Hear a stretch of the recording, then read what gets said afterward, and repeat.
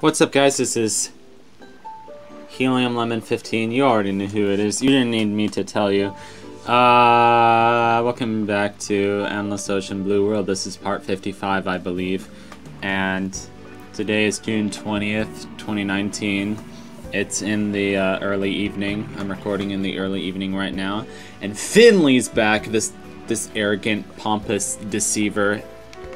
Uh, so yeah, he's impressed that we did all that uh, dolphin training, and now he's uh, going to give us the secret. He's going to tell us to go to the Arctic Ocean again and look for a beluga. What an opportunity! First a narwhal and now a famous sea canary. Don't forget to write it in your notebook so you don't forget. I never forget. I never forget these things. I have a mind like a steel trap, or a mind like a steel sieve as my dad sometimes makes fun of me.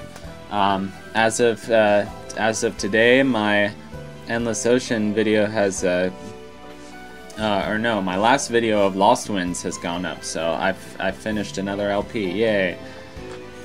I kept talking to Hayako because I thought I was going to get another chance to uh, level up Stephanie, my spectacled porpoise, to level 3, but I did not get such a chance. So yeah, I've been off of school for a little more than a month.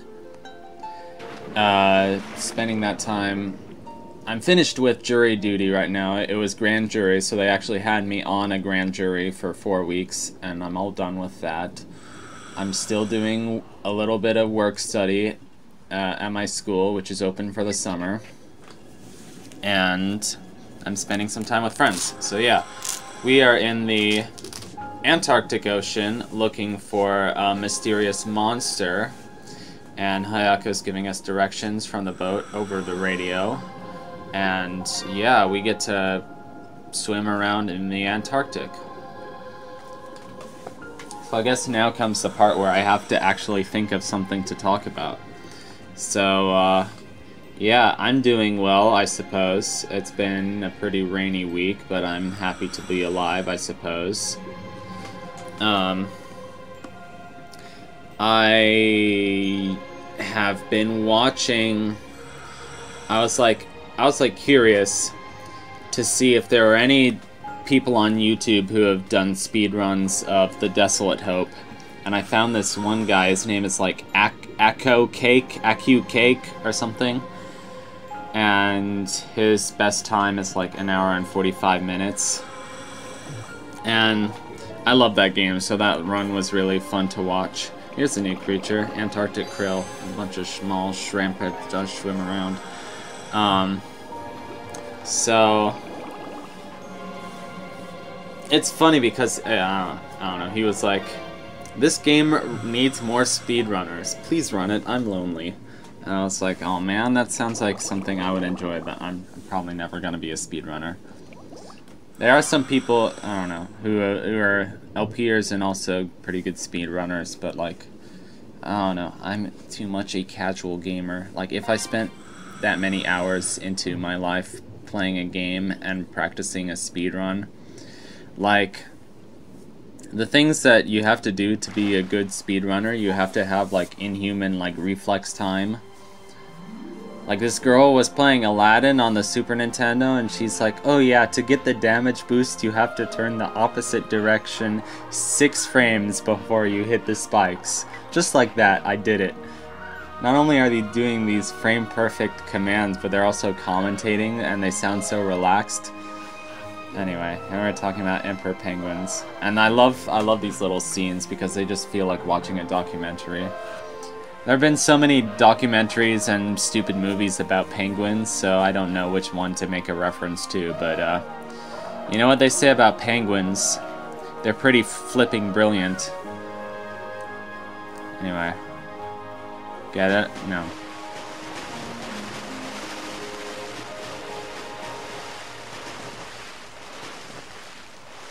So, that, I was confused because he's like, he's telling us to visit the penguins. I thought we had already visited them because we were watching them. But no, that must be just for the first time you go ashore at all in the Antarctic. but see here are not actually the penguins.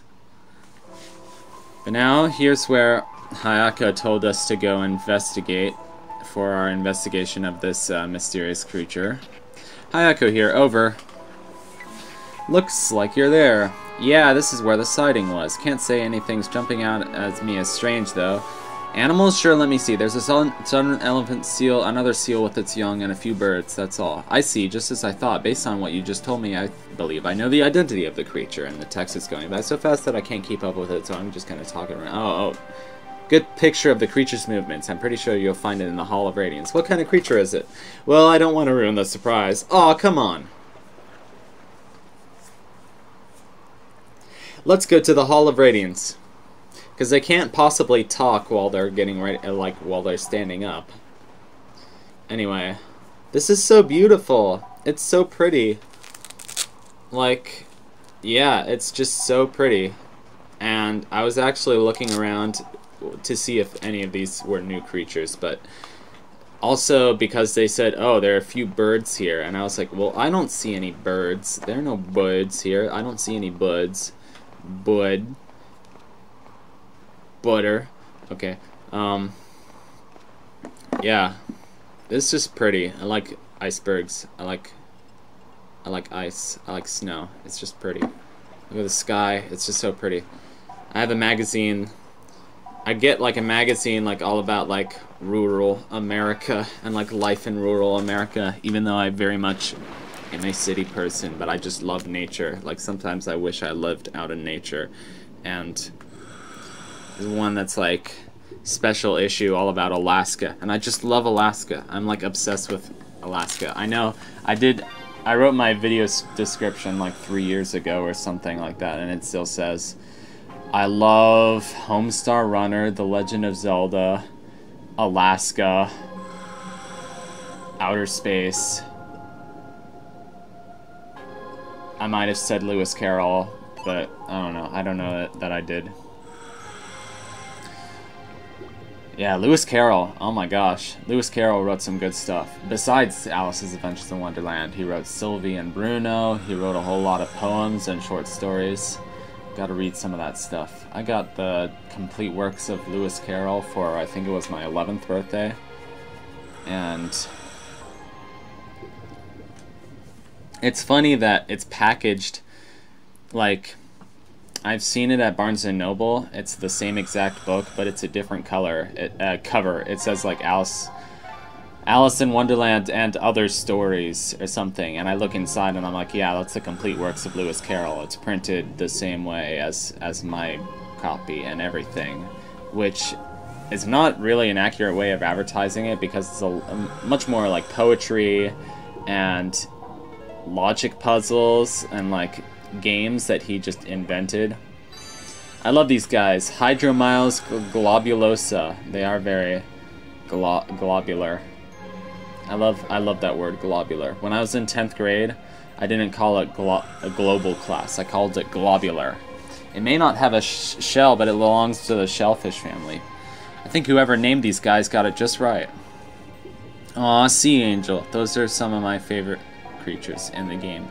Also, somehow we found the uh, Ice Cupid, but we didn't find a regular Sea Angel yet. I don't even remember the video where we found the Ice Cupid. It might have just happened, like, randomly, and I was like, oh, there's the Ice Cupid. But yeah, those are Sea Angels. That's just amazing that a creature like that exists. Like, now I want to see one in real life. That's the joy of this game. Alright, we're about to enter the Hall of Radiance. We get some... We get this... Oh no. We get... It's just this song. It's not harp. It's not Isle of Innisfree that begins with like that harp solo. A... Well, here's harp, but it's not a harp solo. It's not a harp solo. What am I talking about? I'm talking about some good harpists like Cheryl Ann Fulton and Erin Hill. There should be leopard seals in the area. That's the king of the leopard seals. He's the mystery creature we've been looking for. Blah blah blah. Yeah, he just thought the reporter was a penguin and chased after him. Okay. Leopard seals have been known to break through... Never mind. I can't even. Well, that's really interesting and all, but I was uh, hoping for something a bit more exciting. Oh, boohoo.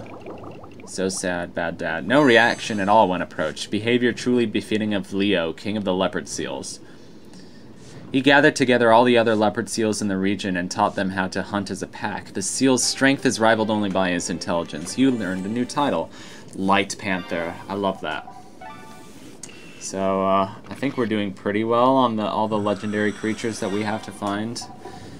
Uh, a lot of them were kind of guided to them by certain side quests.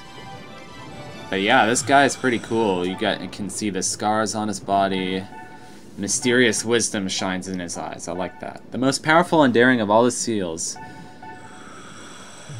It's if you read it, and I just skimmed through it. It's just like it's talking about like how Leo is like